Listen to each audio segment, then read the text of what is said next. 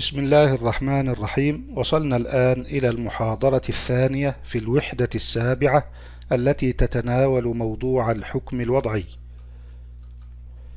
نبدأ بالحديث عن متعلقات الحكم الوضعي. وقد عرفت فيما سبق أن متعلقات الحكم الوضعي خمسة السبب والشرط والمانع والصحيح والفاسد. وبعض العلماء يضيف العزيمة والرخصة فتكون الأقسام عنده سبعة كما سبق. ونبدأ بالحديث عن السبب فنقول إن السبب معناه في اللغة ما يتوصل به إلى مطلوب معين. وأما في الاصطلاح فيعرف السبب بأنه ما يلزم من وجوده الوجود ومن عدمه العدم لذاته. كما عرف أيضا بأنه كل وصف ظاهر منضبط دل الدليل السمعي على كونه معرفا لحكم شرعي. وبالنظر في هذا التعريف يتبين أن السبب وصف ظاهر منضبط له حقيقة جلية غير خفية يمكن التحقق من وجودها. ومن أجل هذا كان الإيجاب والقبول سببا لنقل الملكية في البدلين فصار المبيع ملكا للمشتري وصار الثمن ملكا للبائع وذلك لأن الإيجاب والقبول مظنة الرضا ودليلا عليه. ولم يجعل الرضا نفسه سببا لأن الرضا أمر خفي باطني لا اطلاع لأحد عليه ولا يمكن التحقق من وجوده وعدمه.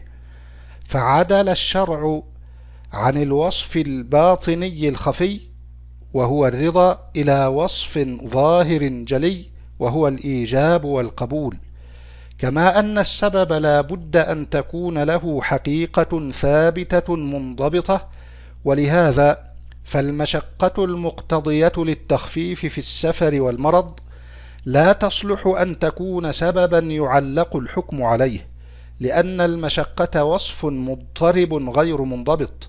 إذ تتفاوت وتختلف باختلاف الأحوال والأشخاص اختلافا عظيما.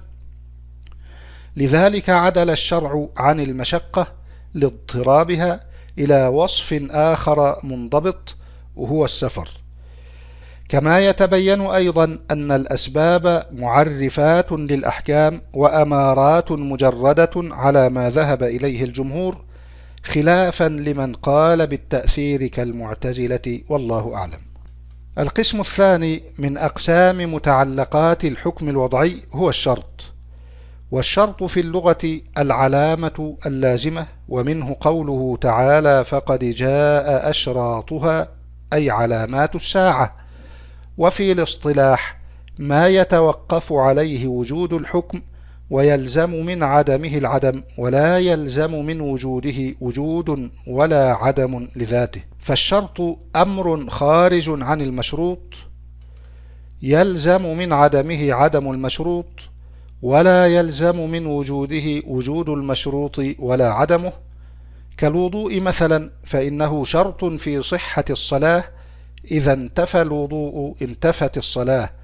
وهو خارج عن حقيقة الصلاة المبتدأة بالتكبير المختتمة بالتسليم ولا يلزم من وجود الوضوء وجود الصلاة. ونحتاج هنا إلى أن نبين الفرق بين الشرط والركن فنقول الفرق بين الشرط والركن أن الشرط أمر خارج عن حقيقة الشيء وماهيته بخلاف الركن فهو جزء داخل في الحقيقة مكون للماهية. فالوضوء مثلا شرط في الصلاة وليس داخلا في حقيقتها لأن حقيقة الصلاة أقوال وأفعال مفتتحة بالتكبير مختتمة بالتسليم بنية مخصوصة وليس الوضوء جزءا من هذه الأقوال ولا تلك الأفعال. ومع ذلك فهو شرط في صحتها مع كونه خارجا عن ماهيتها غير داخل في حقيقتها. والقيام مع القدرة ركن في الصلاة لأنه من مقوماتها ومنه ومن غيره من أركان الصلاة تتكون حقيقة الصلاة. القسم الثالث من أقسام الحكم الوضعي هو المانع والمانع معناه في اللغة الحائل بين الشيئين وفي الاصطلاح وصف وجودي ظاهر منضبط يلزم من وجوده العدم ولا يلزم من عدمه وجود ولا عدم لذاته. مثال المانع الأبوة فإنها مانعة من وجوب القصاص مع وجود السبب الذي هو القتل العمد العدوان. بمعنى أنه لو قتل الوالد ولده فإنه لا يقتل به. لقول النبي عليه الصلاة والسلام وألا يقتل والد بولده. والسبب في ذلك أن كون الأب سببا لوجود الابن يقتضي ألا يصير الابن سببا لعدم الوالد. ومثال المانع أيضا الدين في الزكاة فإن سبب الزكاة ملك النصاب والحكمة فيه مواساة الفقير من فضل المال. والدين المنقص للمال عن النصاب لم يترك فضلا يواسى به الفقير. وعلى ذلك فلا تجب الزكاة على من ملك النصاب لكنه مدين دينا ينقص المال عن النصاب فاعتبرنا الدين هنا مانعا من موانع الزكاة. وقد قسم العلماء المانع إلى قسمين القسم الأول مانع للحكم والقسم الثاني مانع للسبب. أما مانع الحكم فهو ما استلزم حكمة تقتضي نقيض حكم السبب مع بقاء حكمة السبب مثل قتل الزوج زوجته فإن السبب في الإرث وهو الزوجية موجود ومستوف لشروطه لكن وجود المانع وهو القتل منع من ترتب المسبب وهو الإرث على السبب المستوفي لشروطه وهو الزوجية. القسم الثاني مانع السبب وهو ما يستلزم وجوده حكمة تخل بحكمة السبب وذلك كالدين لمن ملك نصابا من أموال الزكاة كما تقدم. وصلنا الآن إلى القسم الرابع من أقسام الحكم الوضعي وهو الصحيح. والصحيح معناه في اللغة السليم وفي الاصطلاح ما ترتب عليه المقصود منه عبادة كان أو معاملة. أو نقول هو الفعل الذي استتبع غايته بأن يأتي به المكلف على وفق ما طلب منه وما شرع له. والمراد من استتباع الغاية كون الفعل بحيث تترتب عليه آثاره إذا وجدت شروطه وانتفت موانعه. وقد وقع الخلاف في مفهوم الغاية في العبادات فقال البعض هي موافقة أمر الشارع في ظن المكلف لا في نفس الأمر. وقال بعض آخر من أهل العلم هي موافقة الأمر على وجه يندفع به القضاء واتفقوا على أن الغاية من المعاملات هي إباحة الانتفاع بكل من العوضين فالصحيح في المعاملات هو الفعل الذي ترتب عليه الأثر المقصود منه. وحكم الصحيح أنه إذا أدى المكلف ما طلب منه مستكملا أركانه وشروطه أجزأه وسقط عنه الواجب وبرئت ذمته منه ولم يستحق تعزيرا في الدنيا واستحق الثواب في الآخرة. وصلنا الآن إلى القسم الخامس من أقسام الحكم الوضعي وهو الباطل أو الفاسد. والمراد بالباطل أو الفاسد ما يقابل الصحيح. وكلمة الباطل والفاسد كلمتان مترادفتان أي متساويتان في المعنى باتفاق في العبادات ويعرفان بمخالفة العبادة لأمر الشارع بفوات ركن أو شرط. وأما الباطل والفاسد في المعاملات فهما عند الجمهور مترادفان أيضا معناهما